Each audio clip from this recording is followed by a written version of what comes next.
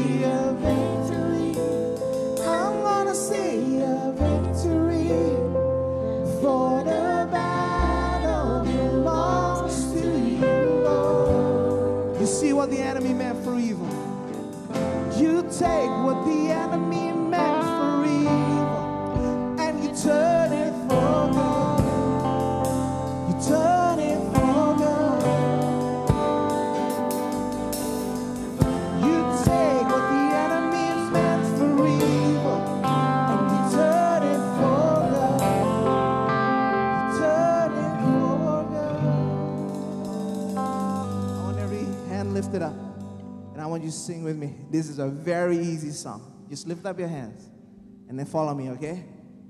This is how I fight my battles. This is how I fight my battles. Sing with me. This is how I fight my battles.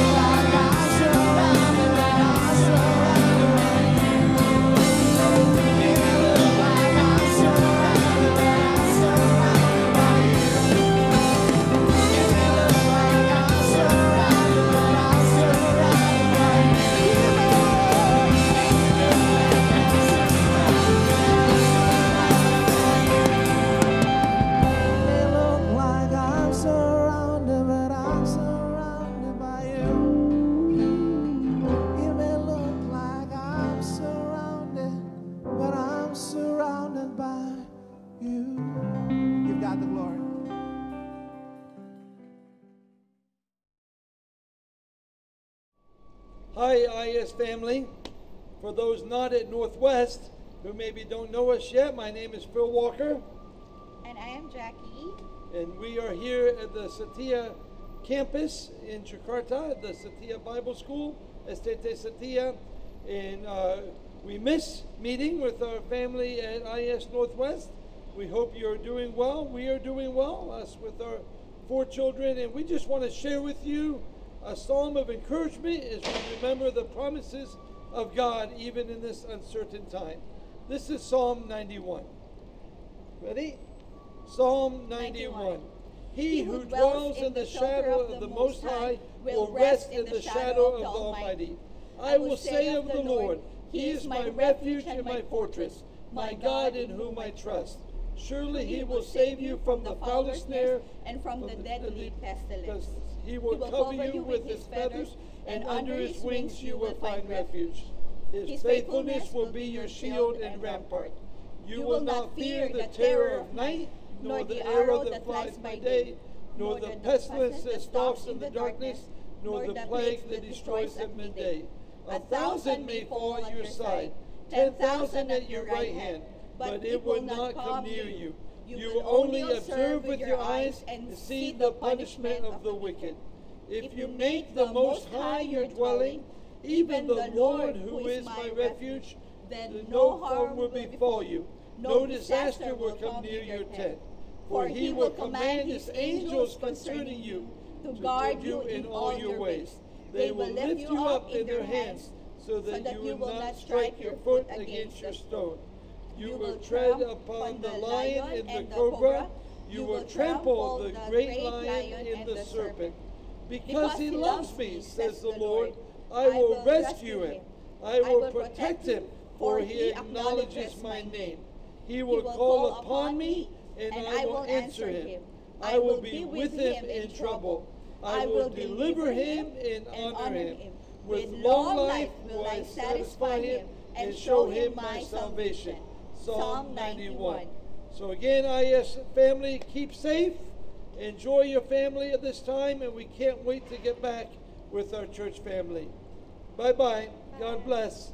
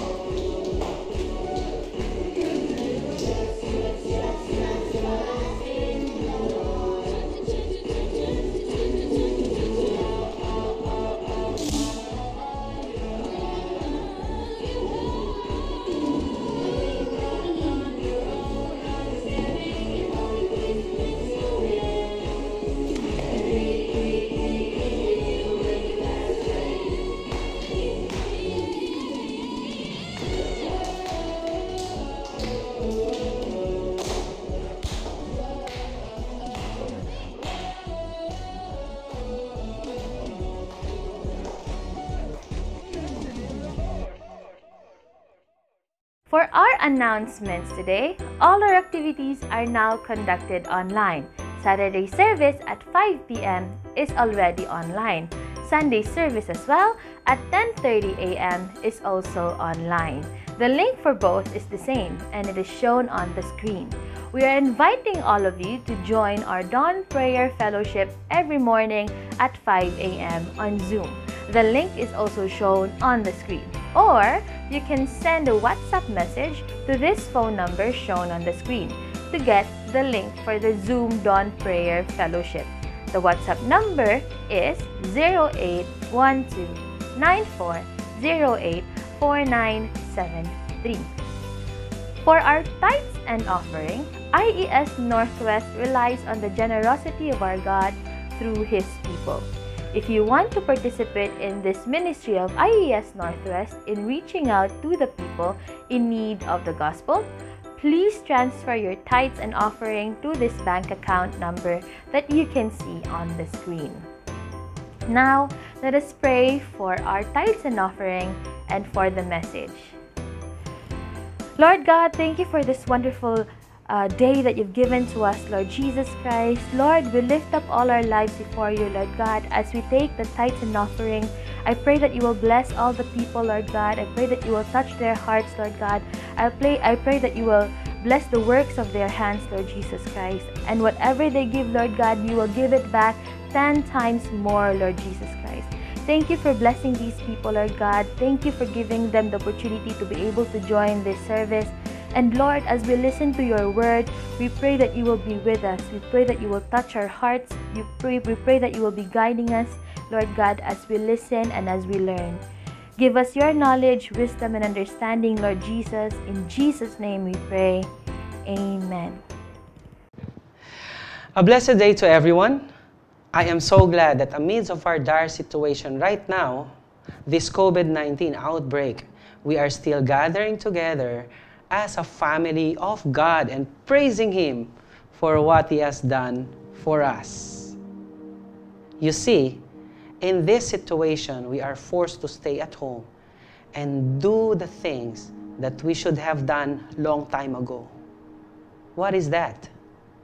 First and foremost is our relationship to God. We usually prioritize our morning habits, such as preparing for work or daily chores, or for parents preparing their children to go to school, that we miss to prioritize God and have communication with Him. This time, God is telling us that He stopped all activities already and He is asking us, Are you going to communicate with me now? Another thing is our relationship with our families. We have so many distractions in mind, like gadgets, our phones, that we fail to have good time in our, with our parents and children. And instead of communicating with them, we face our phones to answer calls and messages. This time, we are locked up together with our family in our homes 24 7 so that we can spend time, quality time with them. Have you seen people in the restaurants before this COVID 19 happened? They are together and yet they are facing their phones, they are talking to their phones. And there is this personal hygiene. We fail to wash hands before eating. Or it takes two days before we take a bath or change our clothes, especially during weekends and holidays when we just stay at home. Well, mostly for boys. Yeah, like myself, I practiced that before. But now, personal hygiene is a must that we do not bother to pay high electric bills and water bills and buy cleaning supplies, even though the price is now doubled. That includes face masks and hand sanitizers and also vitamins. So my prayer is that as we listen to the sharing for we have for today, we can absorb the message and digest it well so that we can use it to strengthen our mind, our body, and our soul. Especially as we face this present battle that we are having right now. The circumstances that we have right now is one of the worst, or if not, the worst situation that we have ever faced in our lives in this generation. It's creating an overwhelming havoc all over the world.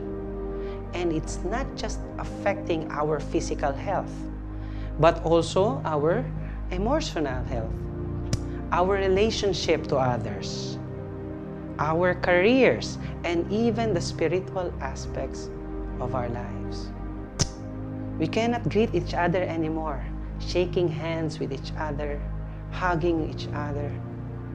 That is why so many people are now desperate, frustrated, and even afraid of having an enemy that we cannot even see.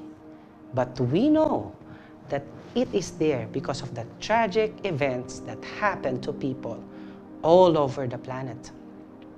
And to make things complicated, we have active medias that spread the fear to everyone in an instant. We hear news of our friends getting infected in our virus. In this virus, or loved ones passed away because they cannot survive the torture that this virus is pouring onto them. And where do we see it? Facebook, WhatsApp. We also have accounts of infected people and their deaths from many countries all over the world.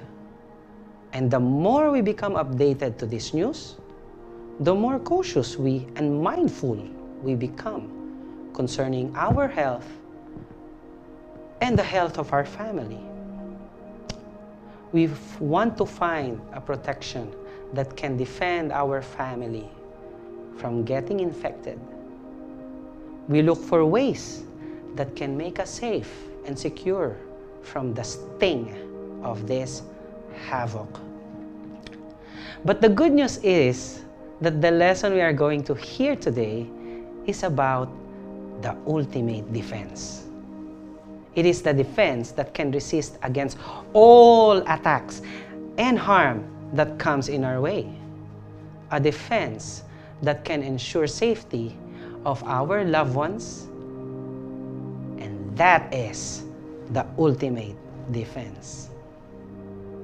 Who among you wants to have that? Come along with me as I decipher, as we decipher the content of the Bible to search for this so called ultimate defense.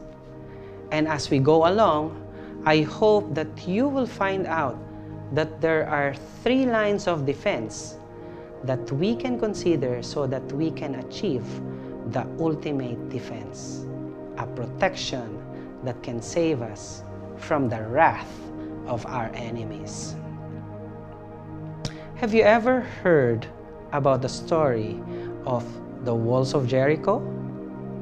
What is the first thing that comes into your mind whenever you hear the story of the walls of Jericho? I am pretty sure that you can picture the name Joshua and the Israelites in your mind as they defeated the people of Jericho, having a very fortified walls. But at this point, my focus is on the people of Jericho and their city and how they can lead us to the three lines of defense that we need to have so that we can battle against COVID 19. First of all, we have to understand that the situation they had before is similar to the situation that we have right now. Really? Yes.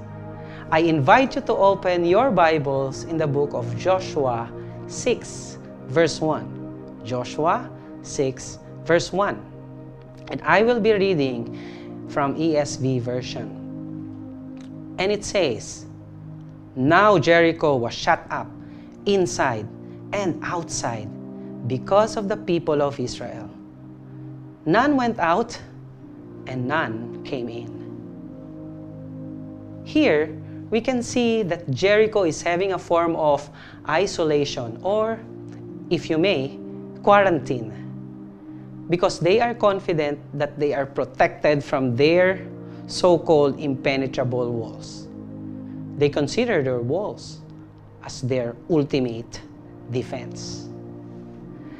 Now, in order for us to understand why they feel secure inside their walls, let me give you some facts about it. First, the city comprises two great walls the outer and the inner walls. The walls, if you combine them together, it compassed about nine acres of land. Now, to understand it clearly, one acre is approximately 16 tennis courts. Have you seen a tennis court? Have you seen how big it is? You combine 16 of them, you make it into a square, and you get one acre of it. That means the walls of Jericho is about 144 tennis courts packed together. Wow. They even say that two uh, F 150s can roam around it, can race in it. We can see how large these city walls are. No wonder Numbers 13, verse 28 mentioned that the cities that the people of Israel are about to conquer are fortified and very large. Now, let's look at the walls itself. The outer wall has a retaining wall. It's a support. It's about 12 to 15 feet high. And then on top of that retaining wall is a mud brick wall that is about 20 to 26 feet high. Then there is this elevated ground level between the two walls to the inner walls and then the inner walls comprises the same height as the outer mud brick wall. So if you combine them together, it's about 50 feet high. Just imagine how enormous these walls of Jericho were. Whew. And this is the first line of defense that we need to be protected from the corona outbreak. We call it the outer defense, the walls, the outer part of our body. The World Health Organization gives us ways on how to protect ourselves against coronavirus. Some of them are washing our hands regularly, outer defense, wear mask and gloves when going out in public places, outer defense, avoid close contact with anyone, or we commonly known as call it as social distancing outer defense. Take a bath and wash your clothes right away after going out somewhere. Outer defense. So many other protocols in order for us to be safe from this outbreak. This is what the health, the World Health Organization is offering us. So these people of Jericho thought that the first line of defense is enough for them to be protected. And some of us are also defending on that first line of defense. Only to find out, these people of Jericho, that their destruction is at hand. So, what are the other two defenses that we need so that we can complete this ultimate defense? You will be surprised that the answer can be found also in the same story. I invite you to open your Bibles to Joshua 2.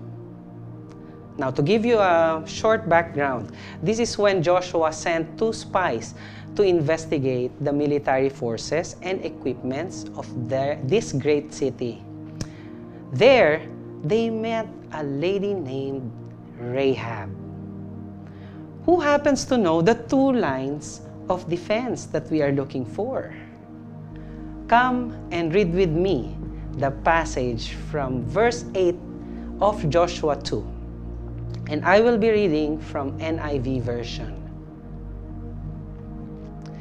Before the spies lay down for the night, she went up on the roof. So this one is Rahab. She wants to talk to the two spies. And said to them, I know that the Lord has given you this land, and that a great fear of you has fallen on us, so that all who live in this country are melting in fear because of you. Melting in fear. So, what is the second line of defense? It's called the mid defense. And this is our courage inside. And this is not present in the people of Jericho. They were so afraid that the Bible records this country is melting in fear. Have you experienced being scared at nighttime? Maybe when you were still young? When it's time to go to bed, thinking that an extraordinary being will come and hunt you. You try to cover yourself with a blanket. Wrap your body and close your eyes until you can sleep. You cannot go to the toilet when needed. You cannot drink when you're thirsty because you're afraid. And when you hear a knock on the door, a sudden movement, or a sound around your bedroom, the more you coil yourself like a crumpled paper, shivering. This is melting in fear. Fear must not sink in in our minds and soul. Philippians 4, verse 6 says, Do not be anxious about anything, but in every situation, by prayer and petition, with thanksgiving, present your request to God. Let us follow what the World Health Organization is telling us to do. But most of all, we should not invite fear in our homes, in our hearts. That when a visitor knocks at the door asking for help, you will invite them. You will not let them stay on the gates. As if when you invite them, you are also inviting coronavirus with them. That when somebody sneezes or coughed, you are already frightened, as if a barking dog running after you. Well, Rahab was courageous in telling the two foreign spies, the Israelites, their opponent, their enemy, about how she felt on that. She wants to be saved and to save others from destruction. She opened her father's house for her people who believe that they will be safe inside their house. She became a frontliner during her time. She invited people to be saved.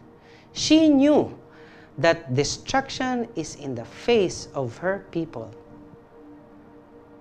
But she reacted appropriately to the situation. She doesn't want her people to die.